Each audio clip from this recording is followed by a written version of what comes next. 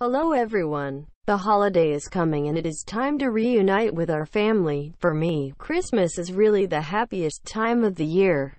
I remember that every time when I visit my parents' home, one of my favorite things was to look at our family photos. From childhood to growing up, how much joy and precious moments were recorded by clicking the camera. They are show me how much mom dad loves us and my sibling played together and fought together, which brings back our sweet memories. My mother is very intelligent. She always put those beautiful memories with a picture frame on the wall. When we reunite, we could always have endless memories talking as soon as we stood in front of the picture frame. I was very nostalgic for that wonderful moment. That warm family photo frame always brings the family together. We chat and laugh, so cheerful and so joyful. Today, when Christmas is coming, let's make a Christmas family photo frame together. Happy Merry Christmas to you and your family.